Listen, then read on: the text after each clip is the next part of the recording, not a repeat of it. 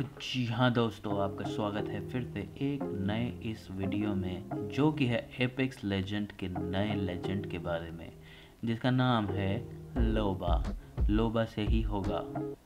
तो season five जो है, उसकी अनाउंसमेंट आज हो गई है।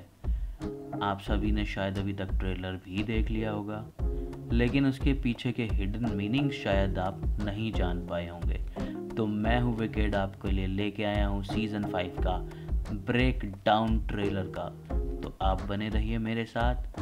आगे चलते हैं वीडियो में। आपको बताते हैं कि सीज़न फाइव में क्या आने वाला है।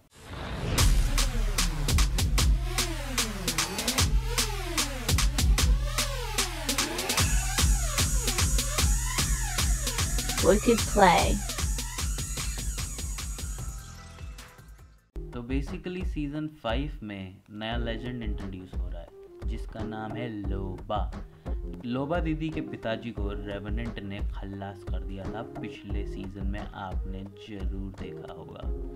जी हाँ अगर आप रेवनेंट को जानते हैं तो आप ये भी जानते होंगे कि उसने किस बेरहमी से उस छोटी बच्ची के पिताजी का कत्ल कर दिया था। तो अब वो हो गई है बड़ी सीज़न फाइव में और अपने पिताजी की मौत का बदला लेने आ चुकी है। तो क्योंकि अब वो अपने पिताजी के कातिल को ढूंढते हुए इधर उधर घूम रही है टिपिकल बॉलीवुड स्टाइल तो वो पहुँच जाती है रेवनेंट की इस गुफा में, जहाँ पे बहुत सारे रेवनेंट है और पी ट्वेंटी ट्वेंटी से कोशिश करती है उस रेवनेंट के दिमाग को उड़ाने की। ए तोड़ खोपड़ी तोड़ साले का। उसे बाबू राव का ये डायलॉग दिमाग में चल रहा होगा, लेकिन पी ट्वेंटी ट्वेंटी से कैसे एक रेवनेंट की खोपड़ी उड़ाई जा सकती है। ये लड़कियों को कौन समझाएगा? तो अगर आप इस ट्रेलर को ध्यान से देखें और गौर से मेरे साथ चलें तो मैं आपको समझा सकता हूँ कि इस लेजेंड की पावर्स जो है, वो क्या क्या हैं। अल्टीमेट पावर क्या है? पैसिव पावर क्या है? और एक्टिव पावर क्या है? जो अल्टीमेट पावर है, वो तो मेरे को लगता है कि ये वेपन छीनने वाली जो पावर है देखिए यहाँ पे कैसे उसने रोबोट के हाथ से आर थ्री ओ वन को छीन लिया है।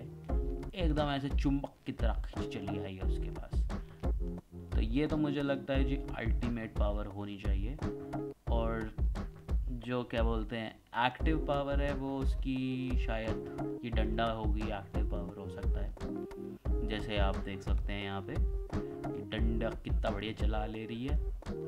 और पैसिव पावर जो है वो इसका ये कंगना कंगना तेरा नहीं करे इशारे वाली चीज़ है। ये देखिए कहाँ से कहाँ अपना कंगना फेंक के क्या मस्त टेलीपोर्ट हो जाती है, जैसे रेत हो पाती है। तो कुछ कुछ इंस्पिरेशन रेत से लेते हुए लोवा दीदी भी आ चुकी हैं मैदान जंग में। तो जैसा कि आगे बढ़ेंगे ट्रेलर के अंदर देखने के लिए तो हम ये पाएँगे कि जो ये स्कल टाउन है अपना, वो हो रहा है तबाह। निस्त नाबूद कर दिया गया है बॉम्ब से। और हाँ बॉम्ब से याद आया मुझे स्टार्टिंग ऑफ़ द ट्रेलर में ये जो बॉम्ब विस्फोट हो रहे हैं तरह तरह के, जैसे ये पाथ फाइंडर बच जाता है लेकिन मिराज जो है वो दब के मर जाता है। तो उससे ऐसा एक इंस्पिरेशन एक मतलब इंडिकेशन हम ले सकते हैं कि ये जो बॉम्ब विस्फोट हैं, ये कहीं ऐसा पबजी वाले रेड जोन टाइप की तरफ़ तो इंडिकेट नहीं कर रहे। कहीं ऐसा तो नहीं है रेड जोन इसके अंदर भी ले आए और उसमें एकदम से ऐसे बम्बार्डमेंट हो जाए और अच्छी भली गेम चलती हुई एकदम से पलटवार हो जाए। लेकिन हाँ ये तो हम इंडिकेशन तो ज़रूर पकड़ सकते हैं कि स्कल टाउन जो है वो ख़त्म हो रहा है। देखो ये कैसे जो है नीचे जा रहा है स्कल और कुछ कुछ अवशेष फिर भी बचे रह जाएँगे, जो कि मैप का एक बेसिस होगा।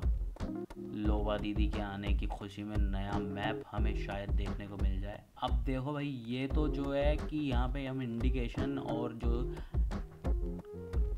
छोटी छोटी बातें पकड़ने वाली जो चीज़ें होती है, वो कर रहे हैं। अब कल को नीचे कमेंट मत करना कि भाई तुमने तो ऐसा बोला था, ऐसे तो हुआ ही नहीं। कर भी देता तो मेरा क्या उखड़ेगा मैं तो बस तुम्हें एक गाइडेंस ही देने के लिए यहाँ पे हूँ। और वैसे बारह तारीख को तो मिल्क का दूध और पानी का वाटर हो ही जाएगा, सारी चीज़ें क्लियर हो ही जाएँगी अपने लिए। तो कोई बात नहीं टेंशन लेने की ज़रूरत नहीं, तब तक थोड़ी सी अटकलें लगाई जा सकती हैं कि एक्चुअल में ये प्रोजेक्ट होने क्या वाला है। ये तो था वो सब जो हम सोच सकते हैं, लेकिन ये ट्रेलर के एंड में जब हम आते हैं, जब लोवा दीदी एकदम से टेलीपोर्ट होकर अपने कंगने में से निकल के आती हैं बाहर, और देखती हैं सारे लेजेंड सामने खड़े हुए हैं और उसको दिखता है अपने सामने रेवनेंट और वो फिर से वही नाकाम कोशिश करती है रेवनेंट के माथे में गोली मारने का और ट्रेलर हो जाता है दी एंड। इस सिचुएशन से एक चीज़ थोड़ा सा हमको क्या बोलते हैं, एक हिडन मीनिंग निकालने वाली बात है कि ये भी हो सकता है कि लोबा दीदी जो हैं वो एक्चुअल में कोई लेजेंड ना हो। वो आ, क्या बोलते हैं एक टाइप का सीक्रेट मिशन जैसा सा कुछ ये लोग मैप में इंट्रोड्यूस कर दे जैसा पिछले दिनों आपने देखा होगा ब्लड हाउंड के केस में हुआ।